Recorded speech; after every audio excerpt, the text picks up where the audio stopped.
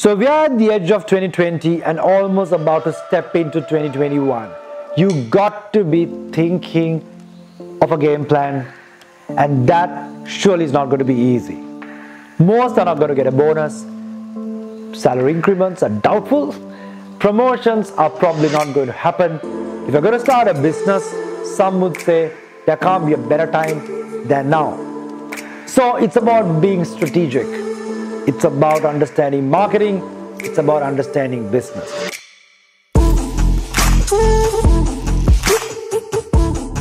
But above all of that, it's about being honest and truthful, real and practical. And at Daffodil Academy, that was our commitment in a challenging year of 2020. But we worked hard and we innovated. We are almost 360 plus days of 2020 and we haven't cancelled a single class.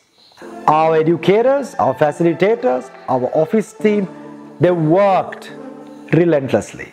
We innovated by delivering a masterclass, a novel concept. We cut down the time students wasted in multiple classes. We made the learning even better. We created insightful discussions that got our students to think once again, real and practical. And we've got the results for that.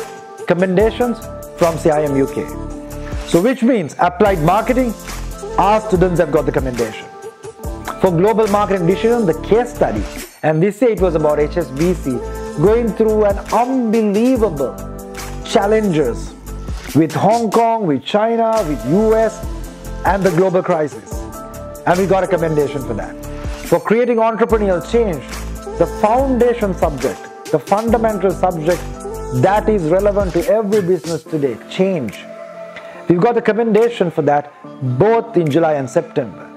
And corporate digital communication in a world that's totally digitalized, I mean at a speed that we never expected, thanks to COVID. We've got the commendation for both sessions.